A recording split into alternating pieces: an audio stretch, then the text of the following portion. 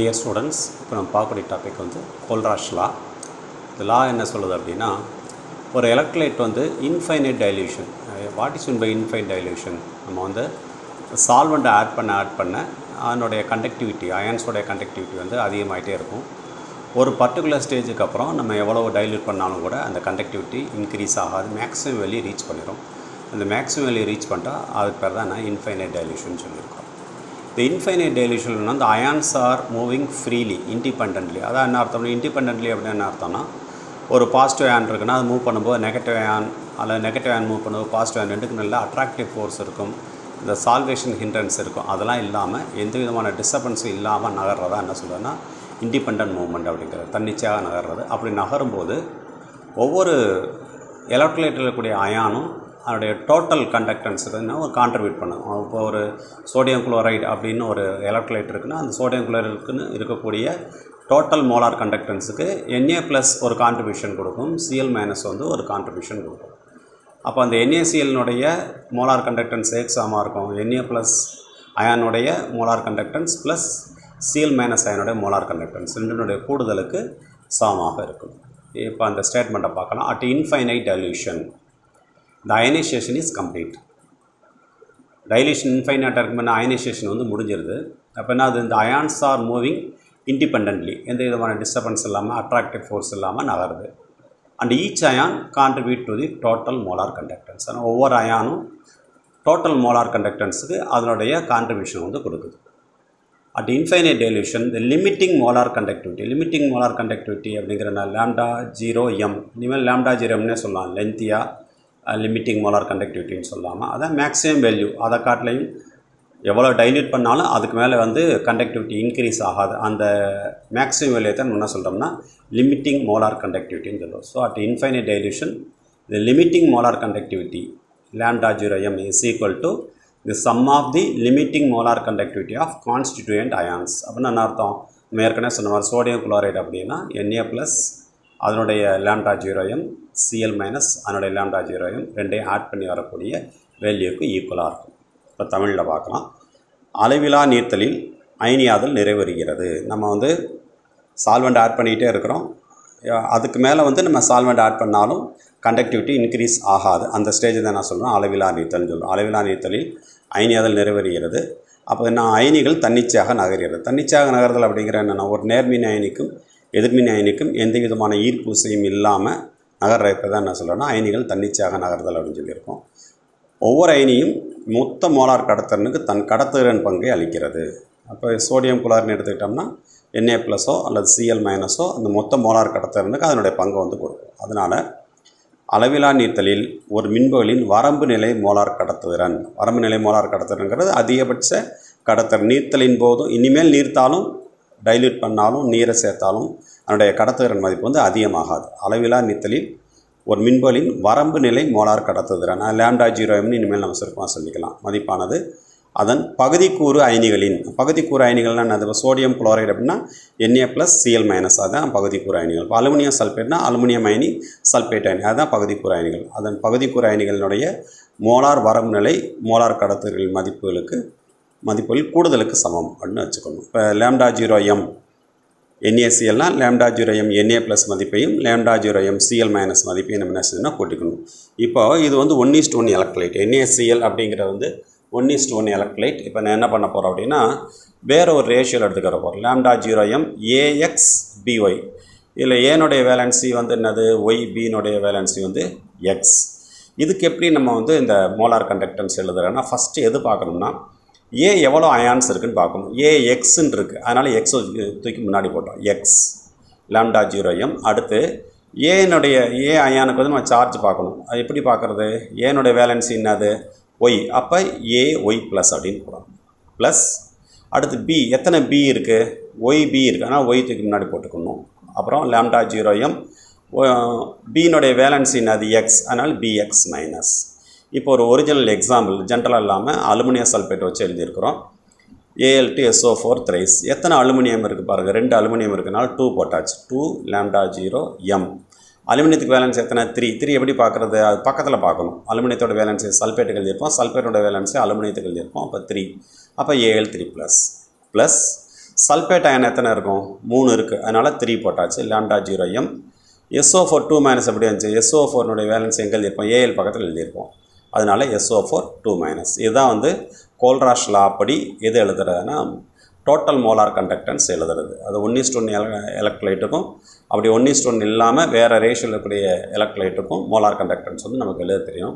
அடுத்து நம்ம என்ன பார்க்க போகிறோம்னா applications of Kohlrausch law Kohlrausch விதியினுடைய பயன்கள் வந்து பார்க்கணும். ஃபஸ்ட் என்ன கொடுத்துருவோம் to find the lambda zero M value for the weak electrolyte ஒரு வலிமை குறைந்த மின்வலியினுடைய லேம்டா ஜீரோ எம் மதிப்பை கண்டெடுது இப்போ லேம்டா ஜீரோ எம் அப்படிங்கிற கான்செப்ட் என்னது நம்ம எவ்வளோ டைல்யூட் பண்ணிகிட்டே இருக்க போகிறோம் இன்ஃபைனைட் டைல்யூஷன் வந்ததுக்கப்புறம் மேக்ஸிமம் கண்டக்டிவிட்டி என்னன்னு சொல்லி பார்க்கணும். அது வந்து எதுக்கு பாசிபிள்னா ஸ்ட்ராங் எலக்ட்ரைட்டுக்கு தான் பாசிபிள் நம்ம அந்த கிராஃப் பார்த்தோம். போன கிளாஸில் பார்த்தோம். கிராஃப் போடும்போது ஸ்ட்ராங் எலக்ட்ரைட்டாக இருந்தால் ஒரு ஸ்ட்ரெயிட் லைன் கிடச்சி அந்த ஸ்ட்ரெயிட் லைன் போய் அந்த ஒய் ஆக்சஸை கட் பண்ணுச்சு. அப்போ வந்து ஸ்ட்ராங் எலக்ட்ரைட்டுக்கு வந்து நம்ம லேம்டா ஜீரோ எம்பேல் வந்து கண்டுபிடிக்கலாம். பட் வீக் கலக்லைட் வலிமை குறைந்த மின்வலிகளுக்கு வந்து லேம்டா ஜீரோ மதிப்பு வந்து கண்டுபிடிக்க முடியாது. எக்ஸ்பெரிமெண்டலாக கண்டுபிடிக்க முடியாது. இப்போ தியரட்டிக்கலாக கண்டுபிடிக்கிறதுக்கு இவரோட ஈக்குவேஷன் வந்து யூஸ் பண்ணலாம். ஃபஸ்ட்டு இப்போ ஒரு e, ஈக்கு ஒரு வீக் கலக்லைட் என்ன எடுத்துருக்கிறோம்னா அஸ்டிக் ஆசிட் எடுத்துருக்கோம். Lambda zero CH three CO OH இது எப்படி பிரிஞ்சிருக்கும்? Lambda zero M CH three CO minus plus lambda zero H plus இப்படி பிரிஞ்சிருக்கும். நம்ம என்ன எடுத்துக்கிறோம்னா என்னோட கான்ஸ்டிடியூயன்ட் அயன்ஸ்னா அது என்னென்ன அயனிகள் பகுதிக்கூறு அயனிகள் என்னென்னது சிஎஸ்டி சிஓஓ மைனஸும் ஹச் ப்ளஸும் நம்ம என்ன பண்ண போகிறோம் அப்படின்னா சிஎஸ்டி சிஓஓ மைனஸ் இருக்கக்கூடிய ஒரு ஸ்ட்ராங் எலக்ட்ரோலைட் எடுத்துக்கிற போகிறோம் சிஎஸ்டி சிஓ மைனஸ் இருக்கக்கூடிய ஒரு வலிமை மிகுந்த மின்வெளி. அது என்னது? சிஎஸ்டி சிஓஓ எண்ணி அதுதான் அந்த சிஎஸ்டி சிஓ ரெட்டில் எழுதி காமிச்சிருக்கிறாங்க. அதே மாதிரி அடுத்த அயன் அது ஹச் ப்ளஸ் அயன் அப்போ ஹச் ப்ளஸ் இருக்கிற மாதிரியான ஒரு ஸ்ட்ராங் எலக்ட்ரைட் எடுத்திருக்கோம். அது என்ன எடுத்துருக்கோம்? ஹச் சிஎல் எடுத்திருக்கிறோம். இப்போ அஸ்டிக் ஆசிட் பிரிஞ்சால் என்ன இருந்திருக்கும்? சிஎஸ்டி சிஓஓ மைனஸ் ஹச் ப்ளஸ்ஸாக இருந்திருக்கும். இப்போ அடிஷனல் என்ன இருக்குது சிஎஸ்டி சிஓஓ என்ஏ அந்த என்ஏ அடிஷனலாக இருக்குது இல்லை ஹச் போக எது அடிஷனலாக இருக்குது சிஎல் அடிஷனலாக இருக்கனால எதை கழிச்சிருப்போம் என்ஏசியில் கழிச்சிட போகிறோம் அப்போ மூணு எலக்ட்ரைட் எடுத்துருக்கோம். என்னென்ன எலக்ட்ரைட் எடுத்துருக்கோம் CH three COO NA HCL NACL இது மூணுமே ஸ்ட்ராங் எலக்ட்ரைட் இது மூணுமே வலிமை மிகுந்த மின்கோலியல் இப்போ இந்த வலிமை மிகுந்த மின்பொலியினுடைய லேம்டா ஜீரோ எம் மதிப்பு வச்சுட்டு என்ன கண்டுபிடிச்சிடலாம்னா வலிமை குறைந்த மின்பொலியான அஸ்டிகமத்தினுடைய லேம்டா ஜீரோ மதிப்பு வந்து கண்டுபிடிச்சிடலாம். From the strong electrolytes with CH three CO NA HCL and NACL you can find the lambda zero M value for the weak electrolyte CH three COH இப்போ அதை அப்படி பிரிச்சுருவோம். சிஎஸ்ரி சிஓஓ என்ஏ எப்படி பிரிஞ்சிருக்கு? CH three COO minus plus NA plus lambda zero CH three CO minus plus lambda zero NA plus கோல்ராஷில் அதான பார்த்தோம். NA plus அடுத்தது வந்து HCL எப்படி பிரிஞ்சிருக்கும்? Lambda zero H plus plus lambda zero CL minus அடுத்து என்ஏசியில் எப்படி பிரியும்? Minus lambda zero NA plus plus lambda zero CL minus அதாவது அது அஸ்டிக் சோடியம் அஸ்டேட் எப்படி பிரிஞ்சிருக்கு? CH three CO minus plus NA plus ஹச்சில் எப்படி பிரிஞ்சிருக்கு? H plus plus CL minus minus போட்டு அப்புறம் என்ஏசியில் எப்படி பிரிஞ்சிருக்கோம்? Lambda zero NA plus plus CL minus இப்போ எல்லாத்தையும் எடுத்துகிட்டு போகிறோம் ப்ராக்கெட் எடுத்துகிட்டு போகிறோம் எடுத்த பின்னாடி பார்த்தீங்கன்னா எந்த டைம் கேன்சல் ஆகும் அப்படின்னா lambda zero NA plus plus ஒன்று இருக்குது lambda zero NA plus minus ஒன்று இருக்குது அது ரெண்டு கேன்சல் அந்த ரவுண்டு பண்ணி காமிச்சிருக்கேன். அதே மாதிரி lambda zero CL plus CL minus ஒரு ப்ளஸ் இருக்குது லேம்டா ஜீரோ சிஎல் மைனஸ் ஒரு மைனஸ் ஒன்று இருக்குது அப்போ அந்த அந்த ரவுண்ட் பண்ணியிருக்கக்கூடிய டேர்ம்ஸ் என்ன ஆயிரும்? கேன்சல் ஆயிரும். அப்போ மீது எது மட்டும் இருக்குது lambda zero CH three CO minus plus lambda zero H plus மட்டும் இருக்குது ரெண்டே ஆட் பண்ணால் எது வந்துடும் லேம்டா ஜீரோ த்ரீ சிஓ வச்சு வந்துடும் அப்போ இதுலேருந்து என்ன தெரியுது அப்படின்னா ஒரு மூணு ஸ்ட்ராங் எலக்ட்ரலைட் எடுத்து அதுலேருந்து எது கண்டுபிடிச்சிருக்கோம்? வீக் எலக்ட்ரலைட்டோடைய லேம்டா ஜீரோ வேல்யூ வந்து கண்டுபிடிச்சிருக்கோம். அடுத்தது செகண்ட் யூஸ் வந்து to find alpha and KA for weak electrolyte அது ஆல்ஃபா அப்படிங்கிறது டிகிரி ஆஃப் டிசோசியேஷன் பிரிகை வீதம். அதுவும் டிசோசியேஷன் கான்சன் பிரிகை மாறிலி ரெண்டையும் கண்டுபிடிக்க போகிறோம் பிரிகை வீதம் பிரிகை மாறிலி. டிகிரி ஆஃப் டிசோசியேஷனும் டிசோசியேஷன் கான்சன்ட் கண்டுபிடிக்க போகிறோம் நம்ம ஏற்கனவே படிச்சிருக்கிறோம். Alpha equal to lambda M by lambda zero M அதனோட மீனிங் என்னது? லேம்டா எம் அப்படிங்கிறது ஒரு பர்டிகுலர் கான்சன்ட்ரேஷனில் மோலார் கண்டக்டிவிட்டி லேம்டா ஜீரோங்கிறது இன்ஃபைனைட் டைலியூஷனில் மோலார் கண்டக்டிவிட்டி அதாவது லேம்டா எம்ங்கிற ஒரு குறிப்பிட்ட செறிவில் மோலார் கடத்துதிறன் லேம்டா ஜீரோங்கிறது அளவிலா நீர்த்தலில் மோலார் கடத்துகிறன். அப்போ ஆல்ஃபா வேல்யூ தெரியும். ஆஸ்வால் டைல்யூஷன் அப்படி கேஏக்கு என்ன formula KA equal to alpha square C by one minus alpha இது எதுலேருந்து கொண்டு வரோம்னா ஆஸ்வால்ஸ் டைலியூஷனில் பழைய லெசன் ஆல்ரெடி பார்த்து அதன்படி கண்டுபிடிச்சிருக்கோம்?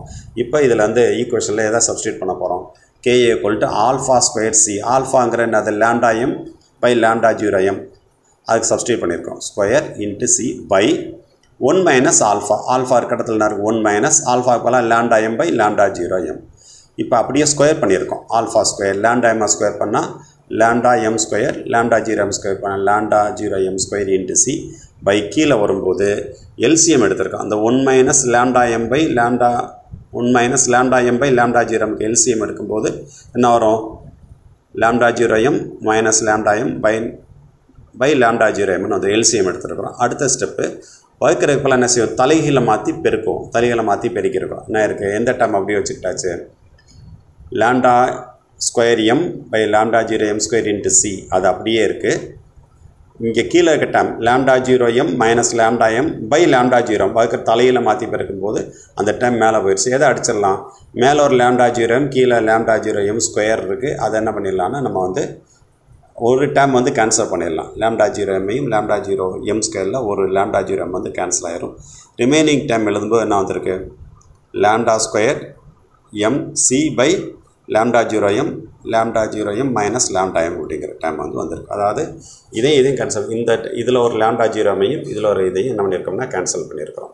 மீதி இருக்க டைமை வந்து அப்படியே மல்டிப்ளை பண்ணி எழுதியிருக்கிறோம். Then to find the solubility of a sparingly soluble salt அதாவது குறைந்த அளவு கரையும் திறன் கொண்ட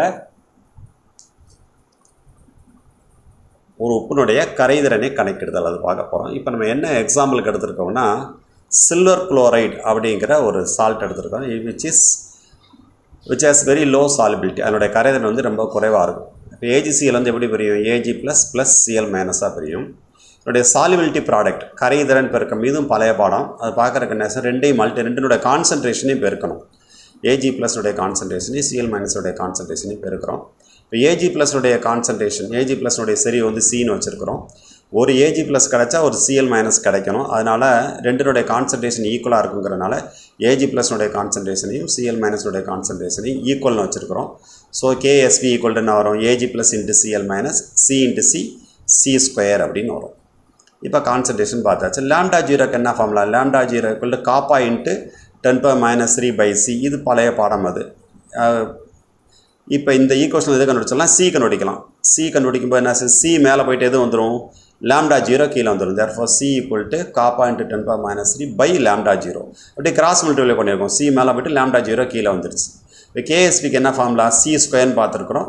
நமக்கு சி வேல்யூ கிடச்சிச்சு என்ன கிடச்சிருக்கு? கா point ten power minus three by lambda zero கிடச்சிருக்கு. அது அப்படியே என்ன பண்ணியிருக்கிறோம்னா ஸ்கொயர் பண்ணியிருக்கோம். ஸோ கோல்ராஷலா படி நம்ம என்ன பண்ணலான்னா ஒரு வீ எலக்ட்ரைட்டுக்கு லேம்டா ஜீரோஎம் கண்டுபிடிக்கலாம்.